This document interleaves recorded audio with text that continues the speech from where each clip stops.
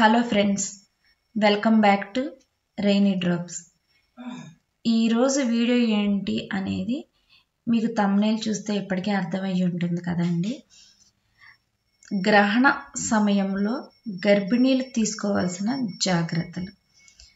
అసలు ప్రెగ్నెంట్ అంటేనే ఒక వరం అండి. ప్రెగ్నెంట్ అనేది ఆడవాళ్ళకు మరో జన్మతో సమానం అండి ఈ విషయం అందరికీ తెలుసు కదా అండి. అలాగే ఇలాంటి ప్రెగ్నెంట్గా ఉన్న ఆడవాళ్ళు సూర్యగ్రహణమైన చంద్రగ్రహణమైన ఏ గ్రహణమైనా సరే అండి ఉన్నప్పుడు చాలా జాగ్రత్తగా ఉండాలండి. ఆ జాగ్రత్తలు ఏంటి అనేది ఇప్పుడు మనం తెలుసుకుందామండి. ఈ గ్రహణ కాలంలో ప్రెగ్నెంట్ లేడీస్ తప్పనిసరిగా ఉంచుకోవాల్సిన వస్తువులు ఏంటంటే దర్చిన గరిక తులసి ఆకులు అండి.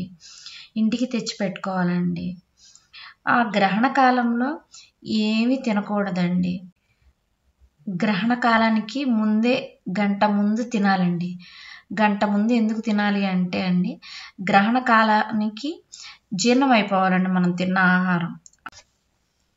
ఈ గ్రహణాన్ని ప్రత్యక్షంగా కానీ పరోక్షంగా కానీ చూడకూడదండి. ఈ గ్రహణం టైంలో పదునైన వస్తువులకి దూరంగా ఉండాలండి. అలాగే కూరగాయలు కట్ చేయడం ఫ్రూట్స్ కట్ చేయడం అలాంటివి అస్సలు చేయకూడదండి. అలా చేసినట్లయితే పెదవులు ఇలా చీలిపోయిన పిల్లలు పుడతారు అని అంటారండి. అలాగే ఈ గ్రహణ కాలంలో వెళ్ళకిలా పడుకునే ఉండాలండి. వెళ్ళకిలా అంతసేపు పడుకోకపోతే కనీసం ఎడమ వైపుకైనా తిరిగి పడుకోవాలండి. పడుకోవడం అంటే నిద్రపోవడం కాదండి ఊరికనే అలా పడుకోవాలి.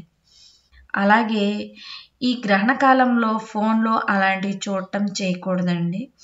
వీలైనంత వరకు మంచి మ్యూజిక్ వినడం కానీ లేదా మంత్రజపం చేయడం కానీ అలాంటివి చేయాలండి.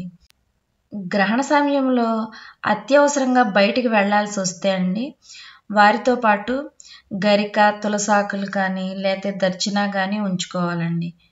అలాగే గ్రహణ ప్రభావం పడకోకుండా పైన గొడుగు వేసుకుని వెళ్ళాలండి.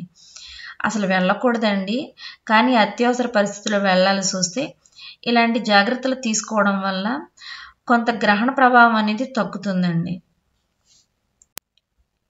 ఈ వీడియో కనుక మీకు నచ్చినట్లయితే ప్లీజ్ లైక్ చేయండి షేర్ చేయండి సబ్స్క్రైబ్ చేయండి.